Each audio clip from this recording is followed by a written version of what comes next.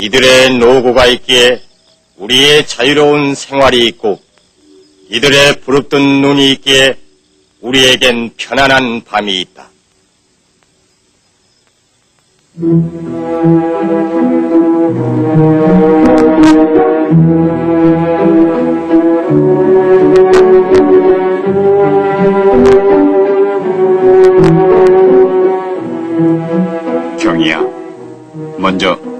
아버님, 어머님 모두 안녕하신지 궁금하구나.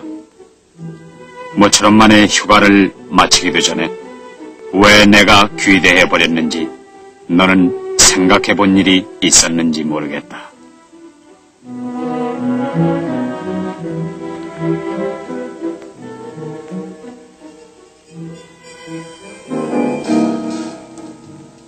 모처럼의 휴가를 얻어 집에서 며칠을 머무는 동안 나는 너무나 달라진 너를 본 것이다.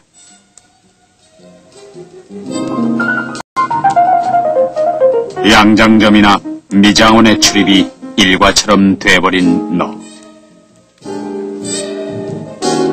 그리고 새 모양의 구두에 더 매력을 느끼는 너의 행동에서 나는 지난날의 너의 모습을 찾아볼 수 없었다. 하루의 일과에서 빠질 수 없는 것이 다방에서의 잡담. 다방에서 나오면은 또 고고 클럽. 참으로 어처구니 없는 일이다.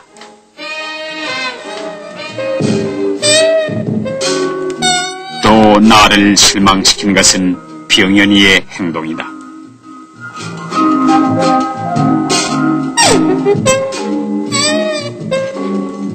자기 처지를 망각한 행동은 결코 구원받을 수 없는 것이다.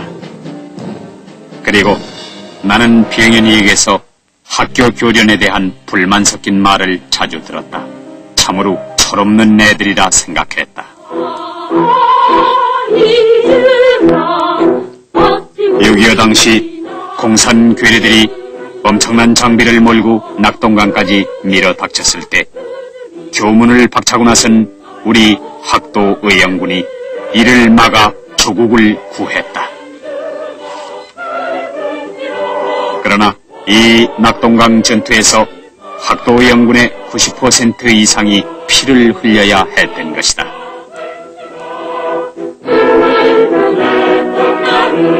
훈련 없이 용기와 정의감만으로 전쟁은 할 수 없다는 산 증거가 바로 그것이다. 일주일에 두 시간 심신을 단련해가며 익힌 훈련은 유사시에 나 자신을 구하는 최선의 수단임을 병연이에게 꼭 일러다오. 또 한 가지 나를 슬프게 한 것은 어머니의 달라지신 모습이다. 아니 여보, 왜 앉아만 계시오? 아, 어떻게 해야 할 거 아니에요? 내 월, 월급을 갖다 준 지가 며칠이나 됐다고 야단이야. 아니 물가가 좀 올랐소? 물가가 좀 올랐기로서니 그게 무슨 새삼스러운 일이라고. 환율이 올라서 금년에 물가가 더 올랐다잖아요. 허, 알긴 아는군. 물가가 오른 것은 우리나라뿐이 아니에요. 전 세계가 들먹이고 있단 말이야. 아무튼 오른 건 오른 거 아니에요. 뭔 쥐꼬리만한 월급을 갖다 주고서는 내쳤네. 그러니까 좀 절약하고 쓸데없는 건 사지 말란 말이에요. 아니 누가 쓸데없는 거 샀다는 거요? 허허, 전축이다.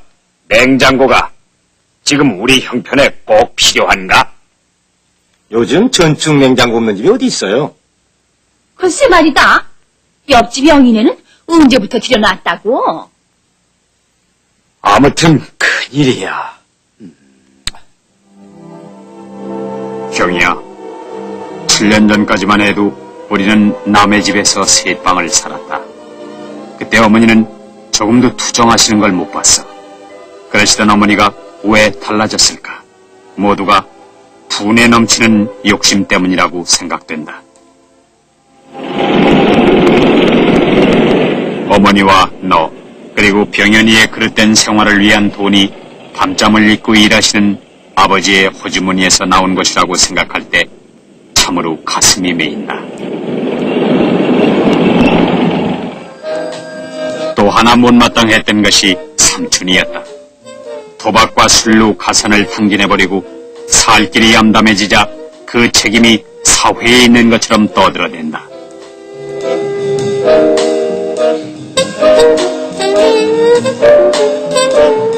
나의 실망은 우리 집에서뿐만이 아니었다. 사치스러운 서울, 대표적인 풍조가 물결치는 서울에서 이것이 불과 25마일 북쪽에 적을 둔 우리의 수도인가를 생각해 보았다.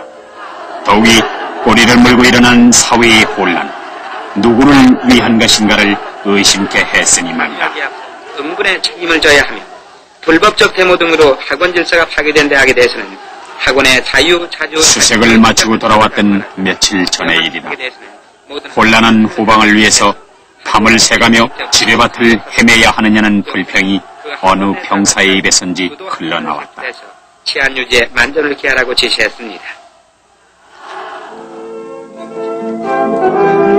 2차 대전 후 독일의 참상을 너도 잘 알고 있으리라 믿는다.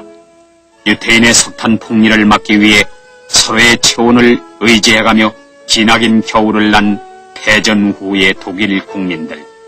그 강인한 인내와 노력과 단결이 오늘의 독일을 이루어 놓았으며 전후 일본이 오늘의 경제력을 갖기까지에는 보다 더한 단결로 곤경을 이겨낸 결과인 것이다. 우리도 6.25의 쓰라림을 겪 그 폐허 위에 새로운 조국의 모습을 이루어놓지 않았느냐.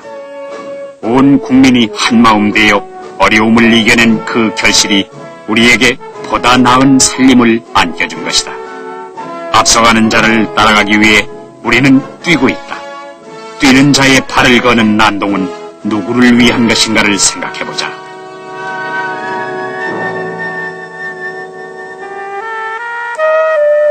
사랑하는 동생 경이야. 세상이 시끄러운 데는 네 허황된 생활 태도에도 책임이 있다는 것을 명심해라. 3개월 후면은 이 오빠도 군복을 벗는다. 그때 내 앞에 나타나는 내 모습은 며칠 전에 내가 본 사치스럽고 속이 빈 그런 모습이 아니길 바란다. 그럼